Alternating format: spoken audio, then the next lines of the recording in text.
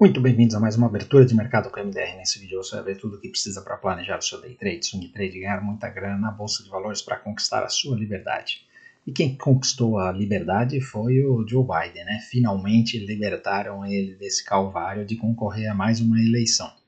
Ainda bem para ele, né, e para a família, porque realmente a situação dele é complicada mas ele continua como presidente dos Estados Unidos e ainda é o homem que tem o dedo na botão, no botão da bomba atômica, né? Então, é, parece uma piada, mas é a verdade, né?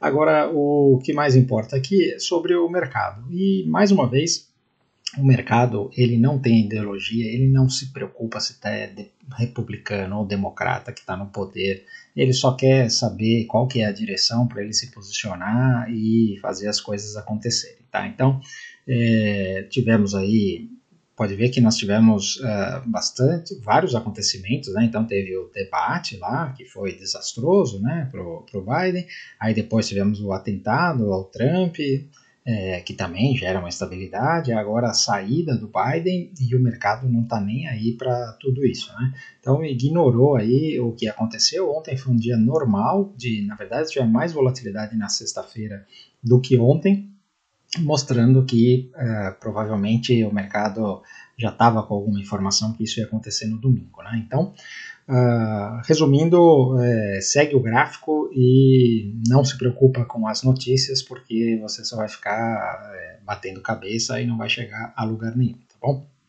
Então, se você está chegando agora e ainda não me conhece, meu nome é Maurício Roberto, mais conhecido como MDR. Se você curte o conteúdo, já deixa o seu like e se inscreve no canal, se ainda não for inscrito. Escreve lá também no Instagram, MFModel, onde tem live todo dia às 8h15 da manhã. E se quiser operar com a gente no método 10x, tem link na descrição do vídeo. Então, olhando aqui o mapa de calor do mundo, ontem tivemos um dia positivo, tá? No mundo inteiro. É, não foi nada significativo, né? Porque vínhamos de uma correção, no caso da Europa consolidado, mas é, todo mundo ficou verdinho, inclusive o Brasil. E aqui o SP 500 não foi diferente, também tivemos um dia positivo, né? Você vê aqui Tesla com 5%, Google com 2%, Nvidia quase 5%, né?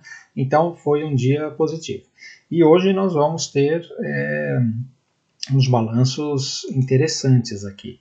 É, nós temos uh, à noite, né? O Google, a Tesla, então vai dar uma bela de uma informação para a gente, né? É, temos Visa também à noite, que é pesado, e a Coca-Cola ao longo do dia aí vai aparecer, além de um monte de outros balanços, né? Indo para os gráficos, você vê aqui que o VIX ontem até fez uma barra de baixa que ainda continua no patamar alto, né, mais ou menos 15 pontos, mas é, dando uma tranquilizada, né? Estamos com um cara de topo aqui que as coisas vão tranquilizar. Essa barra aqui na sexta-feira foi provavelmente por causa da expectativa aí do que ia acontecer com o Biden, né? Fora isso, olha, nós estamos com juros aqui que fez um repiquezinho numa tendência de baixa, nada demais, os juros dos Estados Unidos, juros europeus também fazendo um repiquezinho, hoje já virando para baixo, né? Então, nenhuma volatilidade inesperada. No caso do SP 500, olha, o SP 500 ele veio ali naquele alvo, né, dos 5.500 que tínhamos falado, e ontem fez uma reação. Hoje está aqui pensando ainda o que vai fazer, né? Então agora nós precisamos esperar que ele começar a fazer pivôs de alta nos 60 minutos para voltar a comprar, se for o caso, né? Porque ele ainda pode é, continuar caindo. Mas veja aqui como ele está com uma configuração de fundo bem interessante, né? Então aqui nós temos um ombro esquerdo, aqui a cabeça e aqui o ombro direito de um ombro cabeça ombro invertido, né? Então, se ele romper aqui os 5.570, volta a habilitar compras no SP500 e segue a vida normal como ele estava antes dessa correção. Então você vê que tivemos aqui três dias de correção, tivemos toda essa essas notícias e o mercado não está nem aí, né? E a mesma coisa a Nasdaq, né? Também é, ontem marcou um fundo aqui, se segurou aqui na região dos 19.500 e pode reagir daqui. É, obviamente, existe sempre a possibilidade disso daqui ser só um, um pulo do gato morto, né? E é, subir mais um, dois dias aqui e depois perder fundo. Isso daqui sempre é possível, né? Mas até prova em contrário, estamos numa tendência de alta, isso daqui é uma marcação de fundo, provavelmente o mercado continue para cima. Olhando aqui o, o, Dow Jones, ontem ele já deu uma parada, não sei se vai vir até os 40 mil, né? Ele está aqui neste momento nos 40.500. Seria legal ele dar uma espetada aqui nos 40 mil para dar mais certeza desse fundo. Mas de qualquer jeito já está se segurando aqui no suporte, né? E o Russell 2000, que olha, fez uma bela de uma barra aqui, uma engolfada, né? E tá com um cara que já marcou fundo aqui na primeira retração de Fibonacci e quer continuar indo para cima, tá bom? Indo para a Europa, nós temos aqui o DAX, que continua na mesma situação de consolidação, né? Você vê que nós estamos aqui quase desde o começo do ano na mesma faixa de preço, né? Então, difícil de operar esse negócio aqui. Ontem tivemos um dia de alta, mas continua no mesmo bolo, né? A mesma coisa aqui o Reino Unido continua na consolidação e a França também continua nessa consolidação. Então, daqui não dá para fazer muita coisa. O Japão continua é, fazendo essa correção, já está chegando aqui nas zonas limites de suporte, né? Esses 39 mil pontos aqui precisa segurar aí para voltar a comprar. E a China ainda segurando aqui, não perdeu esse fundo aqui dos 17.500. Vamos ver se vai segurar ou não. De qualquer jeito, compra na China só acima dos 18.500. Se perder aqui o fundo, tem venda, tá? O nosso EWZ ontem ficou praticamente aqui um dia de doji. Inclusive o pessoal da, do método aí pode perguntar. Ontem na sala nós falamos, né? É, provavelmente vai ser um dia de ressaca, um dia de candle apertado, doji não dá para fazer muita coisa. E foi exatamente isso daqui que aconteceu. Isso acontece quando você tem muita volatilidade no dia, no dia seguinte geralmente dá uma, uma parada para respirar. Né? O petróleo ontem foi um pouquinho para baixo, mas está aqui mais ou menos no mesmo lugar, 82, 83 dólares. O minério de ferro está perigosamente querendo perder fundo aqui. Se perder esse fundo, é, vai ser ruim aqui para Vale, principalmente, né? E o cobre continua na sua queda aqui, é, nenhuma reação até o momento, né? Tá um cara que vai vir aqui no 790 nessa última retração de Fibonacci aqui, né? O ouro continua se segurando aqui nos 2,400. É, se ele conseguir marcar esse fundo aqui, voltamos a ter opção, oportunidade de compra, mas ainda não dá para fazer isso. A prata tem que se segurar aqui também, está tentando segurar. Se ela marcar fundo, tem compra. Uh, indo para as moedas, nós temos aqui o DXY, que continua nesse arredondamento de topo, fez aqui uma segurada, vamos ver se isso daqui é só um pulo do gato morto para descer ou se ele volta a testar topo. Não aconteceu muita coisa. E o Bitcoin, que durante o fim de semana aí ameaçou né, e testar topo, aí ontem acabou marcando um topinho mais baixo aqui, né? Hoje também estamos num dia de baixa, então parece que ele ainda não está pronto para vir testar o topo ou romper, né? A mesma coisa o Ethereum, que fez uma barra de baixa, a diferença é que o Ethereum hoje está numa alta aqui. Então, se ele conseguir romper o 3.550, ele vem para os 4.000 aqui, né? Pouco mais forte aí que o Bitcoin, tá bom? É, vamos agora ver o Brasil.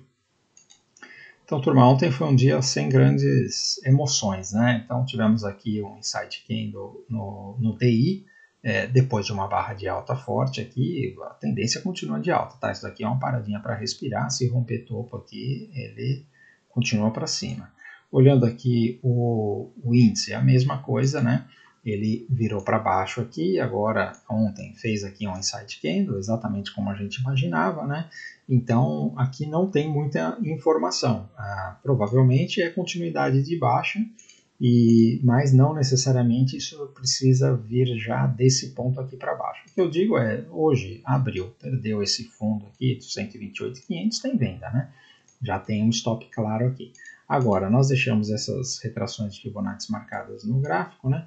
Porque ele pode vir aqui até os 29,500, testar esse fundo. De qualquer jeito, qualquer lugar onde ele suba, seja aqui nos 29, 29,200 ou 29,500, ele marcar um topo, tem venda, ou se perdeu o fundo aqui dos 28,500 também tem venda, tá? É, o dólar uh, continua para cima, é só compra, né? Então ontem tivemos que ter paciência, mas ele marcou o fundo aqui, tinha até essa retração de Fibonacci aqui. É, o que, que aconteceu? Ele abriu, abriu corrigindo, né? E aí, olha só, marcou o fundo aqui mais no período da tarde, né? e aí depois andou aqui uns 30 pontos ainda, né? Então deu uma comprinha aqui e de, de 20, 30 em 30 você vai fazendo o seu mês aí, né? Então a única coisa que eu tenho para dizer é continuidade de compra no dólar, se ele vier nessa região de novo tem compra, se ele romper aqui na abertura tem compra também no dólar, tá? O resto do mercado, que nenhuma novidade, né? Então as small caps estão viradas para baixo, mas ontem teve um dia de alta. É, o que eu digo é, abaixo desse 104 aqui é só venda em small caps, tá? Itaú já chegou no topo aqui, agora está pensando, não dá para vender esse Itaú, mas eu acho que difícil de ele romper isso daqui agora. Se romper, obviamente vai dar compra, né?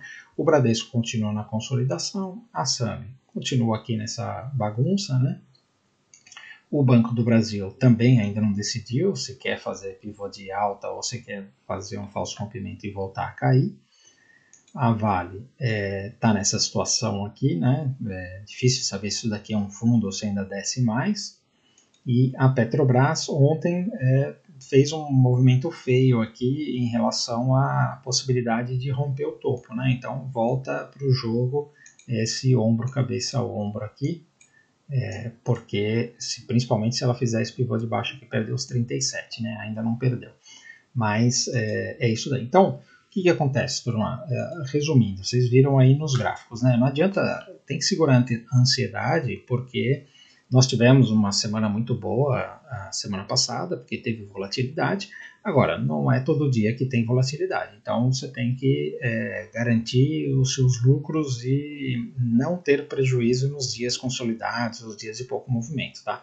Então, assim, o mercado começou a andar, você já tomou um stop, já para de operar, porque sinal que não vai tirar muito leite de pedra, né? Deu até para fazer uns tradezinhos ontem, mas pouca coisa. Então, hoje, se o mercado continuar assim, cuidado, e se ele voltar a andar, nós temos as configurações e sabemos o que fazer, né? Então, se você ficou até aqui e curtiu o conteúdo, por favor, antes de ir embora, deixe seu like, se ainda não é inscrito, considere se inscrever no canal. Escreve lá também no Instagram, mfmo10. Se quiser operar com a gente no método 10x, tem link na descrição do vídeo. Valeu, um abraço.